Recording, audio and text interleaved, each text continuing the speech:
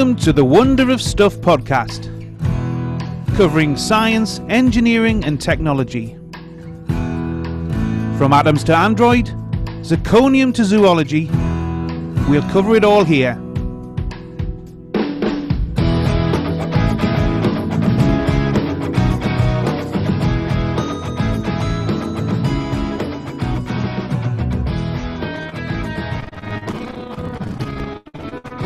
Well, hello everybody, and welcome to episode 13 of the Wonder of Stuff podcast.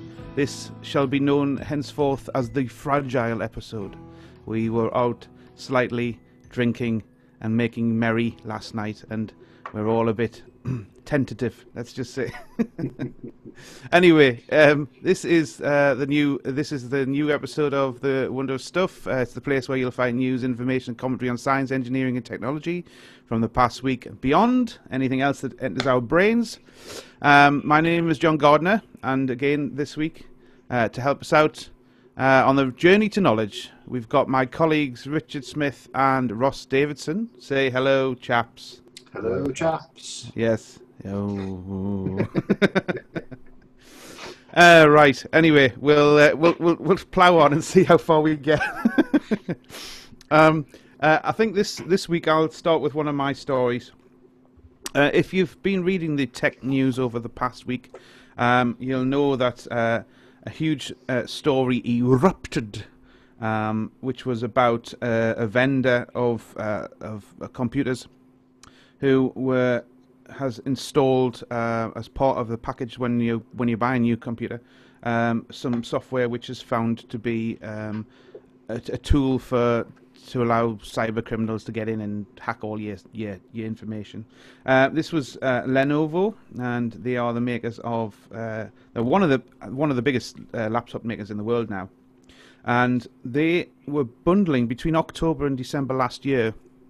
They were bundling with their new product with their new uh, computers a piece of software called Superfish uh, Image Discovery. I think it's called that. Yeah, uh, or Visual Discovery. Uh, and what it was, it was quite a, an innocuous little tool that bundled, and basically it, it allowed um, essentially uh, you, if you're searching for some a, a particular product, and you, are looking at an image. I think the, the example they used on their website is if you wanted a t- if you want a chest of drawers, and you're looking at an image of a test, chest of drawers, it'll go away and search its big cloud database of chests of drawers and all sorts of things and come back with sort of relevant information that you could click through, and that's how it makes its revenue, and um, buy chest of drawers or many chests of drawers. That's all fair and square. That's that's great. Um, uh, now, of course, as it's bundled with the laptop, uh, nobody really knew that it was there. It was sitting there working in the background. And the way, the real problem with it is that the way it works is um, it, it proxies the traffic that's coming from your web browser and going to the web server. So let me demonstrate. To, to give you a bit of a background, I've, I've prepared a small demonstration. Let me see if this one works. Um, okay, let me just share this out. Aha, yes. Right. So a bit of a bit of theory about how uh, HTTP traffic passes, uh, and this it's HTTP and HTTPS traffic, but it's the HTTPS traffic that we're worried about here. Uh, normally, under standard conditions, you here have your own computer and a web browser on it, and you type HTTPS www.google.co.uk or something, and after DNS resolution, it travels all the way to the web server. Well, at least that's how most people think of it. Uh, what actually probably happens is you'll have some sort of system like this where you'll have some sort of reverse proxy or load balancer in front of the web server, but it's all housed within the uh, the, the, the, web server's um, data center. So it's all above board. The traffic starts here, it goes through here, and it's encrypted right the way through. So nobody can intercept it at any point on here when it leaves the browser and before it gets to the actual web server. That's all fine. Now, what actually happens with this software, this Superfish software, is it sits here on your computer and intercepts uh, all the traffic that comes from your browser as a proxy and essentially does a man in the middle attack. Um, and you're probably thinking, well, okay, if I go to a site where the certificate is, is invalid or wrong, then I'll get a, a little um, a little pop up on the browser saying, you know, escape now, flee to the hills. Well, the reason why it doesn't do that is because it actually um, generates its own private key, which comes with the software, and it installs it in your trusted uh, root certificates on your computer. So the next, so when it's when it's running, um, and you go to say uh, https mybank.com to do your online banking, that will pass through this Superfish software. And the reason why you don't get prompted is because it does it generates a certificate on the fly. So if you were to go into the browser, your browser uh, URL, and uh, look on the little padlock, you'll see that the certificate is being generated by Superfish Inc. Uh, and not your bank. But even though it's going, it's going, you are doing your your your banking through it. Now, if you if you're above board, that's fine. Well, it's not fine, but it's it's you, you don't really have to worry. But the problem is that this Superfish software is just the software around the core, and the core is a licensed bit of software by a company called Komodia, who's an Israeli company. And it turns out that this piece of software um, is in lots of other pieces of software and therefore we now don't under, we don't know how widespread the problem is. It might not just be Lenovo um, products. So um, there's the, the, all sorts of security analysts have been finding out more and more over the last week, and uh, they're all thinking it's fairly widespread now. So um, this this this is this is, is pretty major. Now, to be fair to Lenovo, they they st- stopped rolling out. I think they were only rolling it out with uh, pre-installed on their machines between October and December last year. They stopped uh, rolling it out, but not because of this problem. They only found this problem out last week as well as well as everybody else. Um, they, they, stopped it because it was it was putting up niggly um, pop-ups for users, and the users were complaining. so it wasn't any any security reason. And I think there was there's a security um, engineer from Facebook originally looked at it, and there was another security engineer who um, who sort of proved it, uh, and now the U.S. government are uh, uh, saying that we should stop using Lenovo products and all this stuff, and it's going out of hand. But I mean, there's there's very simple ways if you want to check to see if you've got this running on your machine, and and that is if if you've got a Windows computer, which yeah, fairly popular. So I'll show you that now. Uh, if you can go into your certificates uh, um, snap in, and you want to go under your uh, trusted root certification here, um, and you want to look into your trusted root certificates to see if there's anything called Snapfish, um, sorry, not Snapfish, Superfish in there. If you've got something like that, you need to remove that straight away. Anyway, I shall go stop sharing and come back. I actually forgot I was sharing. You see, I'm a bit bit slow tonight. Oh. Um, so yeah, so, so what do you think of that? I'm just checking my uh, my my certificates now. Where is it in the trusted root? Trusted roots, yeah. It it, it basically comes with a, a private key en- encapsulated within the software, and it deploys it. But it's the same yeah. private key for on, on everybody's machine, and the pass. Although the the private key is itself, I'm safe. You're safe. the private key itself is encrypted, but the uh-huh. password for the encrypted private key is actually stored within the software and and it's so you decompile that. And all it is, I think, is just the the company name Komodia, which is the one that they bought the technology off, in lowercase. Wonderful.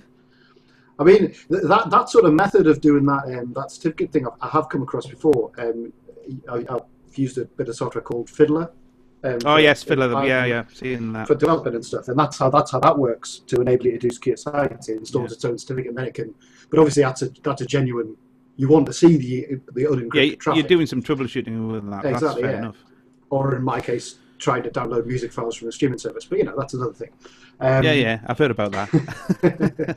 but uh, um, see, the thing is, the same thing. I mean, uh, the Squid, which is a well-known um, uh, open source proxy server, does yeah. something similar uh, yeah. called SSL Bump. Now, the the guys who wrote uh, Squid have put a big disclaimer on saying that this is, you know, they don't think this is should be used. The functionality is there because people have asked for it, but yeah. they really don't think it should be used because you're essentially um, you're um, you're spoofing a, a certificate from somewhere else. Exactly. And as far as the uh, as far as the the end user is concerned, they are connecting to the end the end server, but they're not. Yeah. They're actually they're actually they're actually breaking the certificate, regenerating it again, on, and going through to the other end. yeah. So But it's it's it's a it's a shocking thing that someone's actually been able to get that snuck into people's computers without them knowing. You know, basically just snooping on all of your secure traffic unencrypted, yeah. effectively, aren't they? yeah, yeah. so this this is basically it's an advertising plugin. That's that's yeah, I, I mean, what that's what Superfish uses for. Superfish Yeah. use it for like a, a an image discovery. I guess Yeah. it's like a, it's it's to give you the sort of um, the sort of results that uh, Pinterest would do. Mm-hmm, Um, but it, it does it in a it's sort of it's local. It's on it's on your machine running all the time. Yeah. Um, so I guess they've, I guess they've bought this presumably closed source licensed core of the of the software, and they've built their product around it. yeah, But it's that, it's that. I mean, that the, core. yeah, that core is the vulnerable bit, Mhm. because, uh, like I said, I I think I, I, what I was going to show you is, again, what obviously what could actually happen, and I'll go and I'll go and share this out again. Um, obviously, you could have something like that where Superfish would be here proxying, and it could send it to anywhere. Evil. Evil. Uh, and then and then but you could still route it back so there could be another proxy elsewhere that's just siphoning all your data off Yeah. so i mean when you when you put that i mean superfish i think generally would just go off query their database and come back and then continue on letting you go to the site but that could be anything Yeah, and, you, and there's no way for you telling apart from No. actually inspecting what certificate's being used. yeah i mean i, I guess if you uh, if you use something like um, some sort of packet sniffing tool you might be able to get it uh, but but you know joe blogs is not going to be having a packet sniffing tool So how how many end users have been affected? What's the rough numbers then? Um, well, they were saying it's it's. I don't think they know, to be honest. It's anything that the the the, the, the Lenovo ones uh, is anything on their Yoga. They've got Yoga laptops, Flex laptops, Miix laptops, as well as anything that's got a um, an E, G, U, Y, and Z series prefix. So Sounds quite like a a lot. It doesn't seem to affect the uh, the ThinkPads, which are the laptops that they bought from IBM, because they're uh, more enterprise So presumably, if this is just getting picked up now, it's on a recent build that they've done. Then, so even though it's in those series have the potential to be affected, presumably if you bought one six months ago, it probably wasn't, or has it gone undetected for a long time? It's well uh, between October and December. That's when they were shipping them with this in. So Right. it has gone undetected because it was only de- really made. The disclosure was made last week and about on about Thursday. So I, I and I, I think by purely by accident, somebody in face, some of the, the some of the, one of the security analysts in Facebook must have you know perhaps he was using somebody else's Lenovo computer and going, that's strange.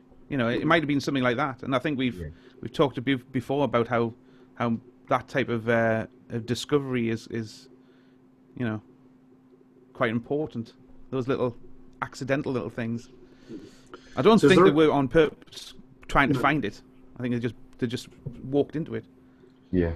So, are there any stories of anyone attempting to bring action for this? Because obviously, you know, the things like going to your banks, you mentioned you your bank. If I'd found out that someone had done this without making it explicitly obvious, I'd be fairly annoyed. I mean, I probably wouldn't take it any further than that, but Yeah, well, people o- will. o- obviously it's getting. Uh, I don't think there's been any uh, any any zero day stuff on it.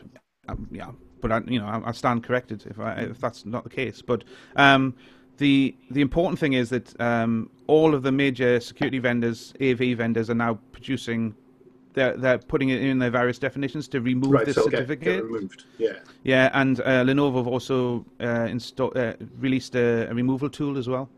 Um, but it, the the guy, the CEO of Komodia, who's their technology that's all been put under um, scrutiny, he he was unavailable for comment. right. And if you look at their website, I just went to the web. Yeah, if you, I just went to the website before um, before I came on, and uh, they've actually taken the website down. right. Yeah, they've actually That, said looks, uh, that looks dodgy. Well, yeah, they've actually said just it's just a one page with a with a with a line saying uh, we are under a DDoS attack. Um, most some people say that it's just because we've we've got a lot of traffic because of recent stories, but we have looked at our logs and there's lots of repeated connections coming from different IP addresses and stuff like that. So I don't know. I reckon they just can't cope with the amount of people that's on it. Yeah. Just trying to see. It, it, it sounds very much like they're a tiny little company, doesn't it? Uh, yeah, it does. It sounds like they've hit on something, and uh, and lots of people want that type of technology to do, or they they need that type of technology to do some other technology, and uh, and they're obviously there to to have it licensed. But clearly, there's been some incompetence, hasn't there? I mean, Oh yeah, oh yeah, absolutely, yeah. They, obviously, this is. Um, nobody's I suggesting we- this is um, sort of like a, a very cunning, evil plan. It's actually just the incompetence. Uh, no, well, no, I don't think anybody is saying that. I, I think it's just it's more the potential uh, that it could do. So Um, this is this is something that could probably only affect pr- like sort of pre-installed operating systems. Or could, how how, do, how would a root certificate get installed? Could it get installed without you knowing? I assume not. So it's, Um, it's just already installed when you get it when you first turn it on after you've bought it. So No, no. Well, the software will install it. The software will install it. I mean, you would The have software, to. Probably, the software is probably installed on the build or the chip. Yes, the image. it will that's be. what I'm thinking. Yeah, Yeah. yeah. Yeah, yeah. I mean, if if if you leave uh, the normal permissions on a on a Windows machine, it would it would prompt you when it's trying to Yeah. install stuff like this. So Yeah. you would know there's something happened. Whether you would have any concept of what a root What certificate means. is or Yeah. what it's actually trying to do, I mean, you know, my dad would not know. He would just probably just go, "Yes, I want this software." Yes, but uh, Yeah. I think the concept is it's not it's not um, it's not the software in, in particular, because um, if you you know if you actually want this functionality and you download it and put it on, well, that's fair enough. Yeah. But it's it's the fact that it's it's in the background for so many people now, yeah. uh, and they don't know about it. Well, even if they get rid of, even if they get rid of it, if you just restore, the Yeah, base image it's is gonna going come come. It's going to come back again. I guess so. I guess I guess really the only safe the only safe way of doing it with a Lenovo laptop is to to rebuild it with a new version of Windows. But of course, um, as we all know, the the uh, OEM license that comes with the new pre-installed laptops now, are, you can't do that. It's against the license policy. You would have to buy a new version of Windows. Or get a version of Windows I'm sure- when it comes out because it's going to be free, apparently. Sorry, what was that? Win- Windows 10 is going to be free. Or yeah, Is it? yeah. Anyone who's for- got win- anyone who's got Windows 7 or Windows 8 is going to Oh, be able free to get upgrade. free free copy of Windows 10. Yeah, free. Yeah, All right. because Ah, basically I 8, 8 was just so badly taken up that the one to get people on Windows 10 as soon as possible. Yeah, it was. It was a bit of a disaster. Right. Well, um, we'll leave that there. We'll. I'll, come back to it if we if we hear of anything else um, regarding that type of software. Um, but we'll go on to Ross now, who's who's we- you know we have one story about HTTPS, and this is the act- the fundamental protocol, which is the next version of HTTP, uh, called imaginatively It's called HTTP 2. HTTP 2, yes. yes, this is basically, yeah. Um, so HTTP um, is has been around, well, it was created in 90s by Sir Tim Berners-Lee when, you know, the internet started um, and, you know, became the, the accepted protocol for the World Wide Web. Um, and basically, when it was created, we had, you know, the World Wide Web was pretty much made of single pages with text, so nothing like what it is nowadays. So nowadays, obviously, websites are multiple pages. You know, you've got multiple files. You know, a typical web page could be hundreds of requests to images, style sheets, JavaScript, all that sort of thing. Um, and basically, it's it, it's not quite as good as it could be. Um, and a little company called Google, you may have heard them, um, were internally developing a, a, an improvement to this because basically they wanted to, to make the web faster. Um, and they invented something, an experimental protocol, which they called SPDY or Speedy. Um, and they they basically had a, a plan to their, their initial aim was to reduce download time by 50%. Um, and basically, it, it, it was an internal project um, and it worked really well. And it's actually now being picked up by the um, IETF, the International Engineering Task Force, um, who promote all the standards on the web. Um, and basically, they are using the protocol, and, and they're going to basically announce HTTP 2. Um, and they're basically going to start. Uh, I think Google Google have already announced that speed. You know, they're not they're dropping their development of going to stage two, um, and it's going to speed up the web. Um, and the way it's going to do that, HTTP 1.1, which is what the current protocol standard is, uh, basically it's a it's a stateless protocol. The, the browser sends a request and then it sits there, and then the server sends a response. Um, and that's basically it. But every single file that your browser requests, every single image, so when you look at a web page, it's got 50 images on, that's 50 individual requests to the server saying, I want that one, I want that one. So a web page, first request will download the, the, the structure, the HTML, then that will define all of the images that are then paused and requested one after the other. Um, and this comes with significant disadvantages. You, one, one request at a time, one request per connection. Um, if you have, it doesn't matter how fast your internet connection is, if you've got latency issues, if your ping time is really high, web page is going to load slowly because the actual individual requests are slower. Um, and also, in terms of those requests, there's headers, there's sort of uh, descriptions sent with the requests, and they're much larger these days as well. So the actual requests are getting bigger. Um, so HTTP2, which is being developed, um, has several advantages over HTTP um, which I have a list of, and there's, there's a few of them. Um, it's a binary protocol, so basically it, it, it's quick at a pause, binary data. Um, one connection can have multiple requests, so it can you can have one connection and just have multiple requests down that same connection. Um, and it's also bi-directional. Um, the web server can actually push files to you as well. So, for example, um, the web server knows what images are on a page. So if your browser requests that page, it can actually send the HTML and all of the images at the same time. So basically, you don't have to request the images in, via an individual request. It just sends you the, all of the contents for the web page. Um, but, uh, but, but I mean that that sounds like that that it could be open to some nefarious action there.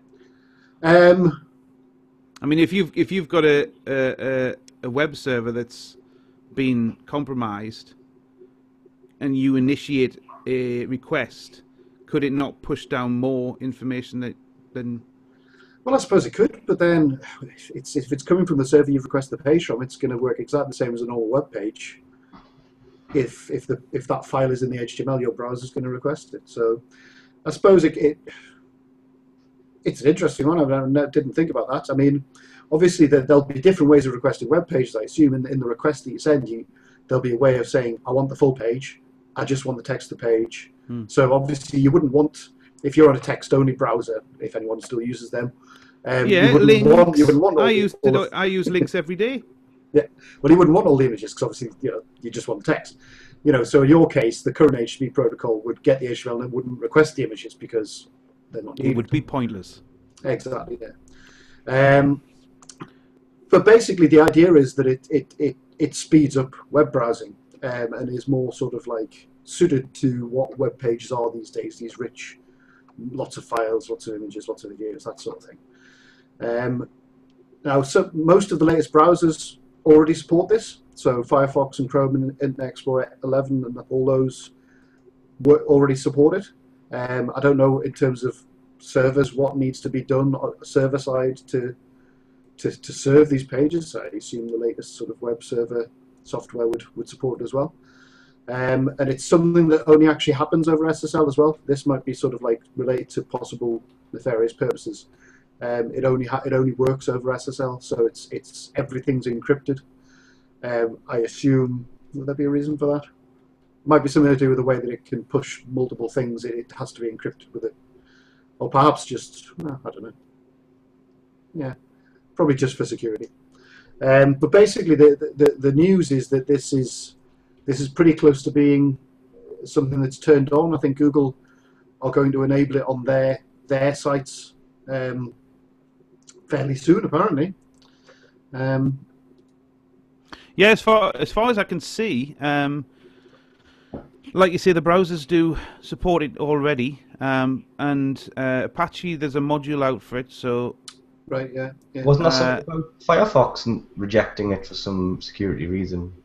Uh, Fi- Firefox version 36 p- supports it, so I don't know what version we're on now with Firefox, but uh, All knowing right. their up- upgrade process at the moment, probably about 50. Um, oh no, we are actually only on 30. So Firefox, it must be the, the, the, the version they're literally using now, because I'm currently on 35. Um, so Firefox must have only just just enabled it. Um, I suspect Chrome has had it enabled um, with it being a Google product for quite a while. Um, yeah, Nginx. So Nginx, Nginx is uh, is also supported. So I guess it's out there, and I, I guess you'll never get it. You'll not get it for a while on uh, in IIS, but. Uh, Mm.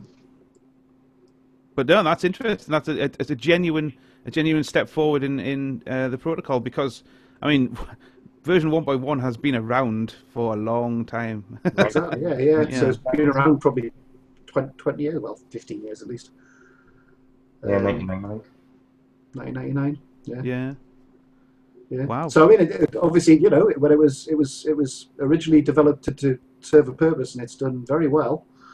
Um, considering how much the, the web's changed in terms of the amount of traffic and, and content that is flying around, it's lasted quite well. Um, but yeah, it's it'll be quite a significant up, update. Um, like I say, the idea of being able to, to request and, and, and serve multiple um, items at once that's you know that's a massive massive improvement rather than the single file at a time sort of approach.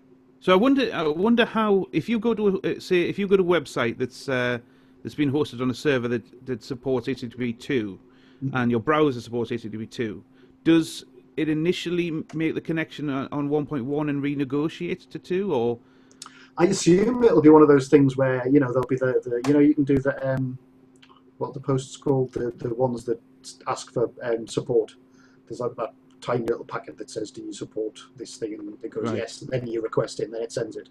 So there'll be initial handshake sort of thing. yeah, yeah, and then it'll just go all right. Every request from this for this session um, would then go over HTTP2, I assume, um, because obviously, yeah, it's going to be something that that'll need a. There'll be a they'll be both going for quite a long time, um, so your browser will be able to switch between the two seamlessly. Uh, but yeah, it's it's no, that's that's pretty interesting. Uh, and but uh, presumably from the, the I guess the idea is that it's it's transparent to the end user, so we wouldn't know unless you unless you're actually looking at the packets, you wouldn't know whether it is going HTTP two or HTTP one one. Apart from the fact that you you might see a, a speedier, you know, Well, I assume so. Yeah, I mean, I, I don't see, you know, unlike sort of like, you know, difference between HTTP, HTTPS, where you've got, you know, visual indicators Yeah. because the user needs to know, see that assurance that it, you are secure. With this, it's a it's a back end protocol, so you don't need to tell anyone. Um, I mean, I suppose would there be any difference in terms of developing web apps? Probably not. In terms of the actual protocol the data takes to get to the browser is not going to affect you know your coding of web, app, web apps I assume um, you may sort of I don't know trying to think Well- whether, whether you would, well, I guess not, because, I mean, different. from your point of view, it, that that's that's dealt with by the stack underneath it. You know, you're Exactly, you're in a different level, aren't you? I guess if you Yeah. were if you were writing directly HTTP uh, commands, then it might affect you. If but but for general applications, I wouldn't I wouldn't have thought it would be any. It would just it's like it would it just would just work faster it would just yeah. work. Excellent, Yeah. good stuff, good stuff. Right.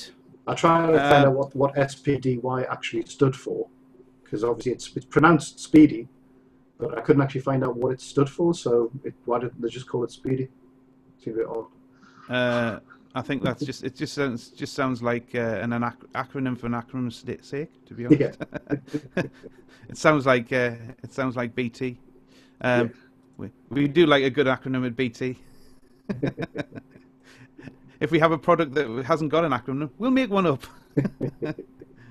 right. Anyway, uh, no good news. Good news that the, that the uh, for all of for all, ev- all of this time where, where everybody the internet generally is getting a bad press for all of the horribleness is on there. it's good to know there's some technical progression going on.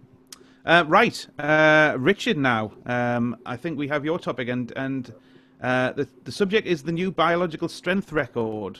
Um, and now I'm guessing when I read that, I thought it's got to be something to do with an ant. well, actually, the ant one um, isn't really that interesting because ants aren't actually that strong because um, it's just it's just gravity. It's just that if you scaled a man to an ant scale, we could lift more or less the same as an ant could lift. So they're not actually they're not actually particularly strong, but it is it's always one that's amused me because obviously I've written fact pages on ants, you know, interesting hundred interesting facts about ants. But that's so, that, so that's just a common misconception then. Yeah, it was just to do with the physics of being that Yeah, small. All right. And I suppose it's just a good good analogy because everyone knows about ants. Yeah, but I mean, what I mean is, if you if you if you did a page about ants, and people say, "Oh, this is a fact about ants," well, it's a fact. It's a fact about all insects that size. Do you know what I mean? Yeah. It, it, so, so ants kind of get a reputation of carrying other insects along and that they're super strong and things like that. But of course, those insects could also carry ants along um, that are much bigger than They just insects, you know what I choose not to. Yeah. but uh, no, this is um, this is like sort of material strength. Um, so this is material sciences. Um, the previous record holder was uh, spider silk. Um, All right. Yeah. so that's that's long been the sort of the strongest known natural material, biological material. Um, and that, for comparison, exotic spider silks um, rate 4.5 on the gigapascals uh, scale. Have you heard of that, Ross? Yeah, yeah, Yeah. Is that am I pronouncing that right? yeah. I think so. Um, yeah, so that's spider silk's four and a half. Kevlar, by comparison, is three to three and a half. So it shows you. Wow. Yeah. Even with engineering, it's not quite there in terms of spider silk. Um, so you can see why these things are interesting to, to discover because you know they inspire um, synthetics. So uh, the new record holder is limpet teeth, which by comparison is now a six point five. So Blimey.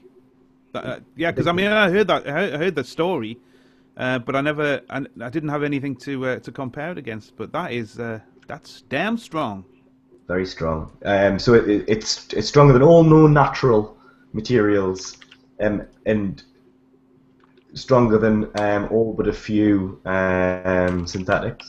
A couple of synthetics um, that are stronger, but um, but what this one's got going for it is um, when you scale it up, so it doesn't matter what size the limpet teeth are. Um, the, the strength doesn't go down. So with with other materials, um, there's obviously tiny flaws in the in the in the layout of the structure, um, which as it grows, those exacerbate it, exacerbate the problem, and the strength goes down. But with this, um, it's going to be really interesting to vehicle engineers and all sorts of other engineers um, because it does it doesn't go down as the um, as the scale goes up. So it's just So- a really, really well structured material. Yeah.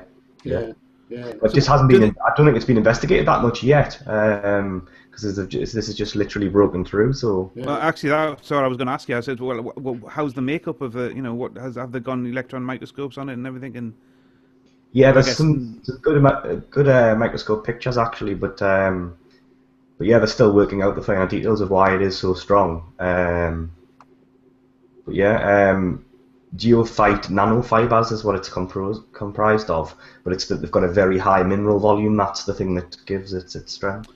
so implications in the human world. What what could we get out of it? Well, vehicles, like I say, but um, you know, um, Formula One racing, you know, anything, any high-speed vehicle racing, um, Aircraft. just yeah, aircraft, uh, and even down to dental restorations, because by comparison, human tooths is zero point five on that same scale. So obviously, if you can, if you can make a composite that'll um, repair a damaged tooth that's stronger, um, it's So a do- good thing to have. Does it? Would that mean that would the, your, your teeth would, would never your fillings would never wear out or? Yeah, basically, yeah. yeah. Wow. Um, Bet and obviously the for the fixings of them as well, I guess. Yeah, yeah, that's the friend of the dentist.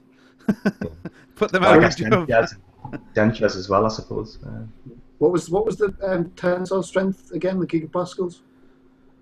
uh, it- for limpet teeth, it was 6.5. Six point five. Do you know what it is? You know, uh, you know, graphene, and, and you know, the, the, that's the strongest material, the graphite graphene thing. That has a tensile strength of 130. So it's quite, you know, it's quite a way off that. But obviously, in terms of, I suppose, the, finding it something that's happening in nature suggests that it's a lot easier to sort of then recreate than you know graphene, which. Yeah, I mean, these things are difficult because it's not very, you know. Yeah, these things can still always inspire innovations, even though perhaps, yeah, like you say, it's still way off the strongest. But you know, it's a bit like discovering, um, you know, the, the way um, a bird sails for a long time and stuff. You can still then get something out of that, can't you? Even though it's inferior to something we've already got. Um, Yeah. They can do more with more with less, basically.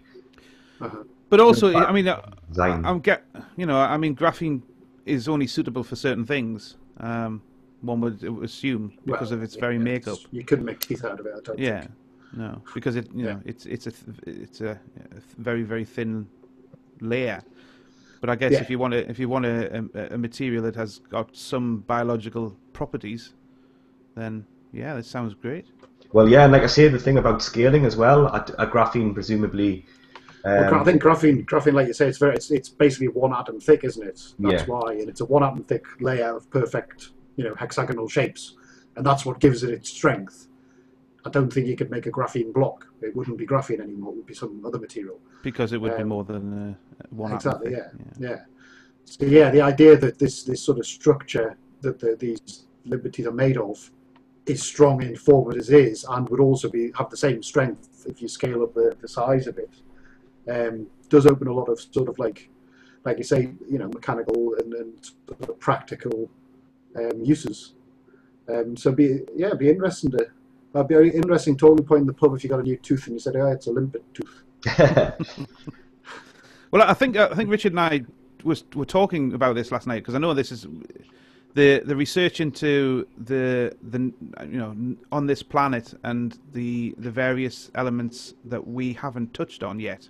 Um, we would you know. I, I think I've also, I've touched on it in, in another uh, another vodcast and said what what Joe Bloggs in the street would say. I think we were, when we were talking about the uh, the Mariana Trench and all the, the the new species down there, and that there was just there's just not enough uh, research being done on this planet, let alone going into space. And Ri- Richard rightly said, well, they should be researching both Yeah, because Yeah. it's oh, it's both important. It's not one is more important than the other. It's you know. So, so the people, the, the, the scientists who've, who've discovered this, were they looking for something in particular, or is it just that they're testing the strength of materials, and this was just one of the candidates that came up? yeah. Uh, do we know any of the history behind the discovery? Yeah, I don't. Other, other than that, it was that that they'd obviously limp.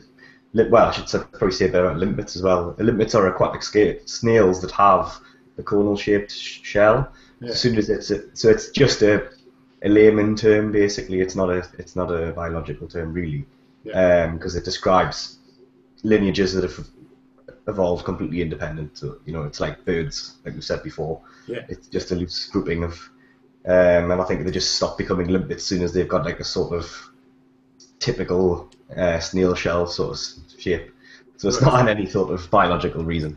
Yeah. Um, so yeah, this will be a particular species of limpet because there will be some that probably don't have this level of strength. But everyone knows, I guess, people who've gone rock pooling as a kid and what have you, it's very difficult once they've, um, once they know that you're there, once they feel your vibration on the rock, Yeah, you can't Um, get them off. they stick down really solid, don't they? And it's virtually impossible to get them off. Yeah, Um, so I guess it's been known for a long time that they can like sort of bore into the rock face. You've actually got the they leave sort of these jagged uh, marks in the rock, don't they? Even from where they've taken the rock away. Um, so I yeah, mean, it's been known for a long time that they that they have this incredible strength. So it's just trying to unlock how they've managed to do it and see if that has any if that can inspire some other technologies. I just wonder why it's taken so long for them to start people starting to research.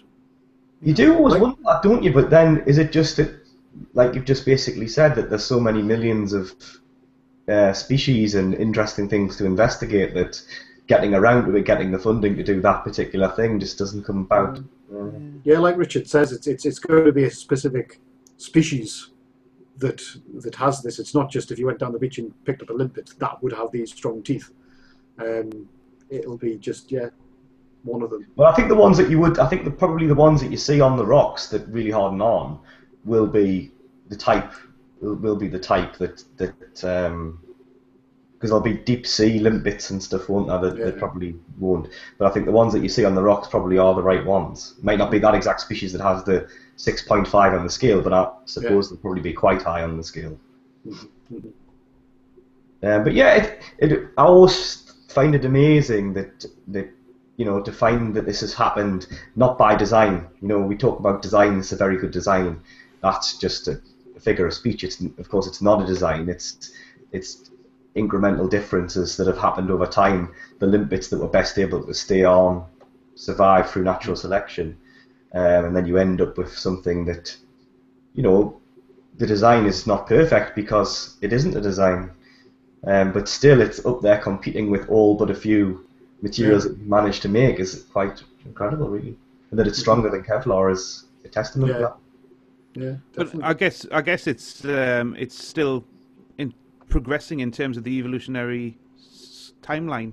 You know, we we are seeing it now. If it you know thousands and thousands of years, if the planet is still here, then it may get better. Well, not necessarily, because if there's no pressure, this is how it works. If there's no pressure for it to get better, if it that that that strength may have been static for a few millennia because it, once it serves the purpose, there's no Yeah. there's Once nothing it's good driving enough. it. Yeah, yeah. that's the thing. It would. It's not working towards something. It's just it's when it gets to the strength where it's well adapted. That that that sort of change remains the same. So unless But- something but- comes along and puts a pressure on them to be stronger, then they won't. But equally, we wouldn't know whether that whether they are currently under the pressure to, to changing and they're in in the middle of an evolutionary change. Yeah, yeah. I mean, they will be changing. Every everything is changing, but um, I think unless something was killing off the ones who weren't quite as strong, um, which I don't think there is, um, then yeah, maybe it's in there. Do, Maybe do, in limpets, do limpets have a natural predator? What eats limpets? I don't know. Well, um, snails are usually like uh, quite low down on the food chain, aren't they? So um, they'll be herbivores, so they'll be like bottom of the food chain basically, animal wise. Um, I don't know. Well, I know seagulls and stuff will have a go if they're flipped over, won't they? So Yeah. Seagulls eat anything. I don't know whether they have a juve. They probably have a nymph or juvenile stage before they get into the shell, maybe, and that's when they're predated. Uh-huh. I guess it's it's like hermit crabs, isn't it? When they at one stage they they don't have any. Um, Yeah. Maybe, or maybe Shell. they're like that from the beginning. I'm not sure. I think it's their own shell, though, isn't it? It's secret, it's secretions that they make forms the shell. and That's how Yeah. most snails work. Excellent. Alright. Well, that's a good uh, a good uh, point to stop. I think uh, hitting pretty much dead on the quarter, the forty-five minutes, which is uh, is it hasn't happened for a while. I have to say. Um, that's probably just to, to do with our state. I think we did really well to get through it all. Yeah, yeah, yeah. And we had some good conversations as well. Okay, well, uh, we'll leave it there for, for this episode. Um, we'll jo- again join you next week. Um, uh, as always, the email is wonderofstuff at gmail.com. We've got the blog, of course, which is wonderofstuff.blogspot.co.uk or blogspot.com, whichever you would choose. Um, Next week, I shall be off on my travels during the week to uh, the National Computer Museum and the uh, the, the Space Centre in uh, Leicester and Milton Keynes. So uh, hopefully, I'll get some photographs and put them on the blog as well. Do you not do your broadcast from there, John? Well, yeah, well, I, I, we need an outside broadcast at some point. well, I put a requisition in for the BBC EOB truck, but uh, you know, got turned down. They were doing some athletics or something. So. So uh, no, it's uh, it'll, I'm afraid it'll just be a visual thing, a visual history of computing. I'm quite looking forward to it. I have to say, uh, um, my wife did suggest it, and uh, I've been as giddy as a schoolboy. Ross So, reminded um, us in the pub that I owe, I owe a presentation on the sugar rockets on one of the first episodes. I said, um, Yes, you do actually. Yeah, yes, yeah. you do absolutely. Are we going? Are we going to have a practical? we should do, shouldn't we? Yeah, I'll get. Yeah, we'll we get should do, get a video. I've got my ca- video camera and a tripod. We'll get it all set up. We'll do a proper OB. Well, sort of. right. Okay. We'll leave it there, everybody. Uh, so um, I hope everybody enjoyed it, and we shall see you next time. Bye bye. Bye. Right.